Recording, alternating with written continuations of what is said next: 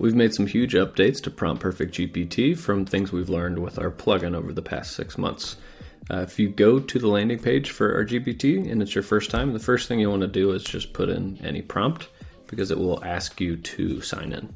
So go through the sign in flow here by clicking this button, and it'll either ask you for your email or if it already has your email, it'll ask you to authorize.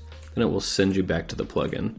There's a known bug by OpenAI that this button doesn't disappear when you come back, and it should. You are logged in, so if you just hit regenerate, you will see that the action is called, and you'll get three options allow, always allow, or decline. If you click always allow, you won't be prompted to press that every single time. One of the major updates we've made is that you don't have to use the word perfect in front of your prompt. You can just do any prompt, and you can see the refined version spit out here, along with the answer below.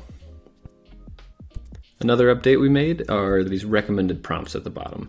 So you can see it asks you to choose a number if you want to continue the chat like this. So if we just press 1 and enter, it will send this prompt, how are tax rates determined, to our API and will be refined and answered right.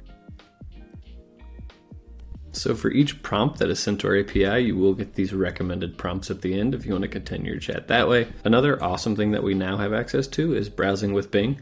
DALL-E, and advanced data analysis. So if you were to use those, there's a little bit different of a way you would do it.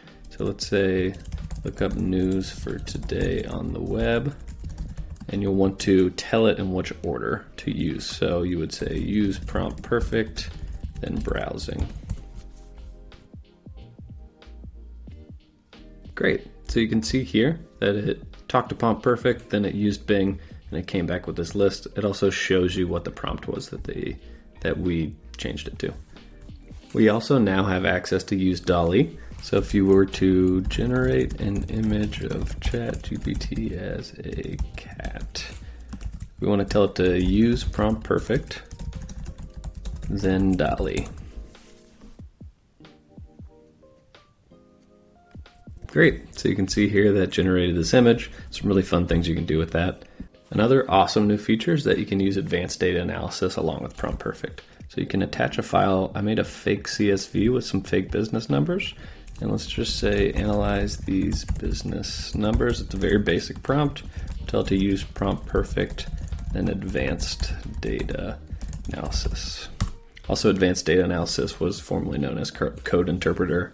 People tend to talk about both the same way.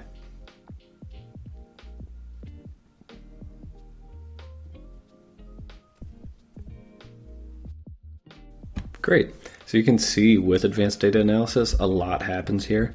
It actually used it to look at the document and then write this prompt, which went from analyze these business numbers to please conduct a thorough analysis of, a CSV file that contains business data for various months, along with all this extra info.